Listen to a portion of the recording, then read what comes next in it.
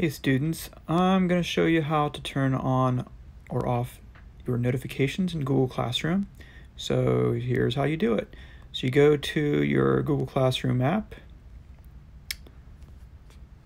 and you'll notice that you can click on the class and you can hit the three bars in the upper right hand corner and you'll notice if you scroll all the way down to settings at the very bottom I'll hit that.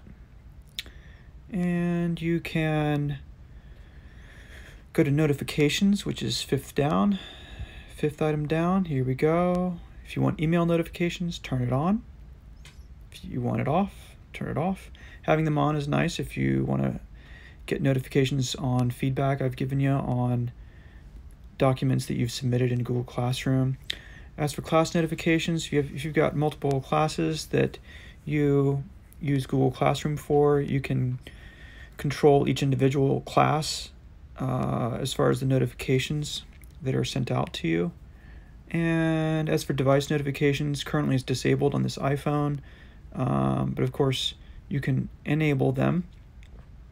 Um, and you'll notice where it says Classroom at the top. So on this iPhone, I'm about to uh, control what kind of notifications I'd like on this phone for Google Classroom, you'll notice the second item down is notifications. It's currently off.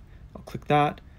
Allow notifications, I'll toggle it on, and then I can control what kind of notifications I would like, whether it's lock screen, appearance, or notification center, or banners, or one, or two of them, or three of them. So you can customize that.